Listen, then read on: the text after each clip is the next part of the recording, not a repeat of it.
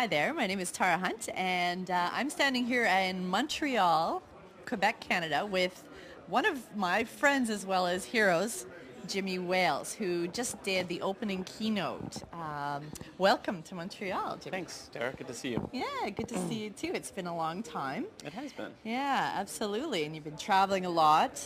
All over the world, Yeah, all the time. yeah, It's yeah. a So ridiculous. you're currently living in San Francisco. Currently living in Florida. In Florida, okay. so, try to keep track. I know that when I was living in San Francisco, you were living there, but we could never actually see Yes, each other exactly. there. We would see each other in Paris in or in London, but never Yes, exactly. actually at home. Right. So it's a quite of an exciting lifestyle. And as uh, uh, part of that, you're and what you spoke about this morning, you're going around and you're talking about um, how basically pop, popular culture is is becoming smarter, is transforming. This morning you talked ab- about the uh, s- succession of of like shows like I Love Lucy to things like MASH to to what we have today with Lost and what's happening on Wikia with Lostpedia and how actually the audience is driving the Yeah, it's it's very, very interesting. Um, of course, uh, it's if we look at, at all of culture, um, that's a really big thing. So I focus in directly just on television. Um, and of course, uh, I don't mean to imply you can't find stupid things on TV anymore. You can, no question about it. That will always be with us. But my point is really that, that we are seeing uh, a real golden age of very complex TV shows, uh, very subtle uh, moral dramas and things like this uh, that, that are um, really, you know, mentally stimulating, and that one of the reasons for that, and one of the ways that that's happening, is that uh, we have a lot of technology now for watching a show. So Lost is a great example. So Lost, incredibly complicated. I think anybody who is a fan of Lost um, will say it's much better to watch Lost with someone, so you can pause every three minutes and be like, which is polar bear, you know? That's from season one or two, I think. But um, and uh, additionally, the fans are online talking to each other. It's become very important in, in television uh, to create uh, programs that create conversations because that's a huge method of marketing. But it also is, um, it stimulates people's minds and people like it. They really want some substance. They want some meat.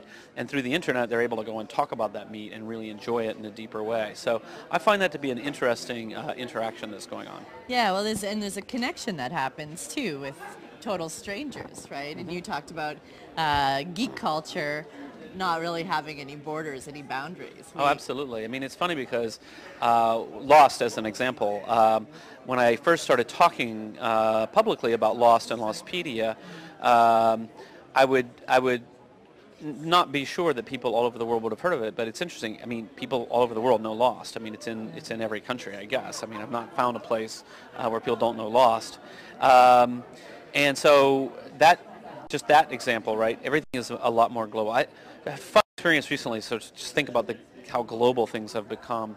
Uh, I have a friend who is a uh, TV host in Saudi Arabia, and she posted uh, in English on Facebook a link to a video.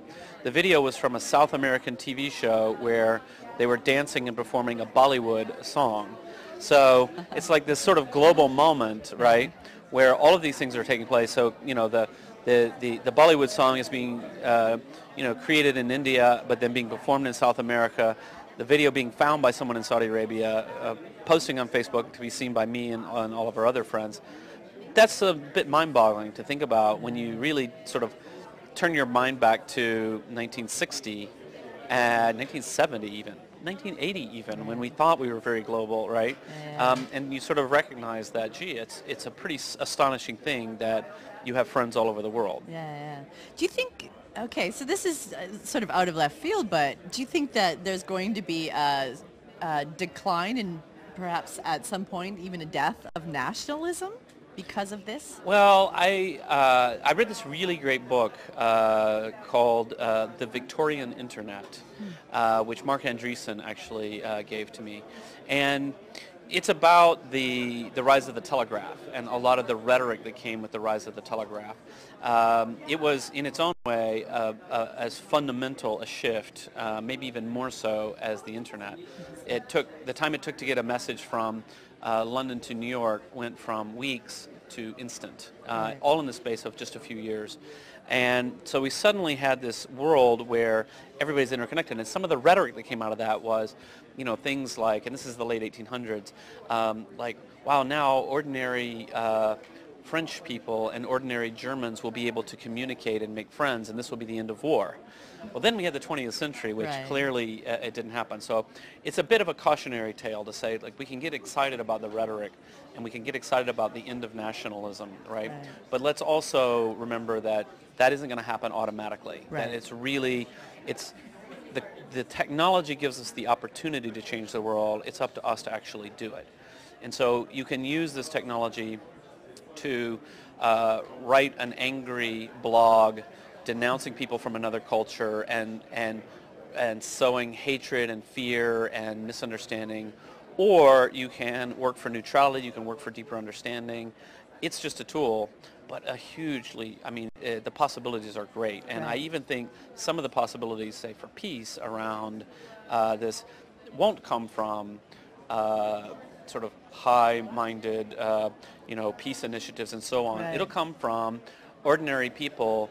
Grassroots. grassroots. Not even grassroots. Even implies organization in a certain way. What I mean is, it's like I'm interested in Muppets. And I've got friends who happen to live in Saudi Arabia who are interested in Muppets, and I make friends with them, and it's not political. It's not even close to political. It's not grassroots organizing. It's just I have friends there, people I know and I care about. Yeah, Um, and so suddenly when there's some tension between the companies, I have a human sense of a person over there, not the sort of other, you know. Right. So I think that that kind of uh, communication is, is has great potential. Okay, so though you couldn't deny that there is a fundamental shift then Absolutely, happening in the world. absolutely. So where do you think? I mean, you you were part of the group that led this shift to Uh-huh. date. So you must have some pretty good insight as to where that well, may I- maybe go. I try, but what I always uh, tell people is I'm a I'm a carpenter, not an architect, uh, and what I mean by that is uh, the the thing I will take great credit for uh, with Wikipedia is I just sat down and started saying I'm going to hire somebody, I'm going to I'm going to do this, I'm going to do that, I'm going to hammer away and, and try to make this happen, uh, as opposed to you know we sort of have this myth of the big idea, which is oh he had this fabulous idea. Well, I did have the fabulous idea, so did a lot of people, but I just started hammering away. So when I think about the future, because of my position, I get asked these deep sort of guru questions, right. right? And I always want to be a little bit humble about it. Okay, well, I'm going to be one of the people. I'm not going anywhere. I'm going to be one of the people still with my hammer and nails trying to build a, a better internet, build a better world. Uh, but I don't know exactly what's going to happen next. And if I did, I'd, you know, I'd do it.